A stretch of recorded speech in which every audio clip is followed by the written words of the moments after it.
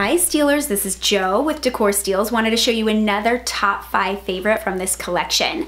It is this cake stand. It has a galvanized top and then the wooden spindle base. It's absolutely to die for gorgeous. It's a must have. You can see that it has a little bit of a green paint around the wood base and then it has the galvanized tin top goes awesome in any space in your house. Cake stands are must have in my house because I love layering and I love height. So I always have a cake stand on hand for any area in my home to decorate with.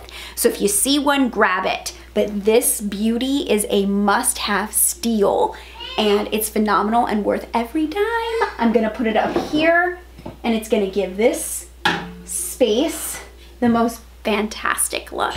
Hope you guys like it.